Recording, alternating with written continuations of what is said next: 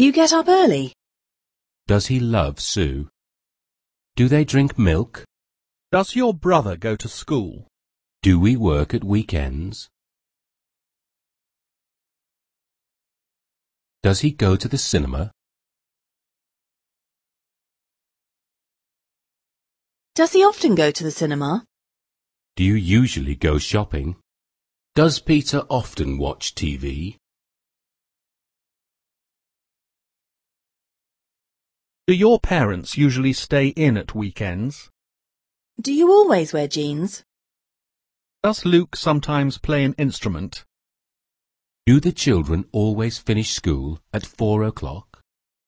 Does your father usually go to work by car? What do you usually do on weekends? Where do they often study?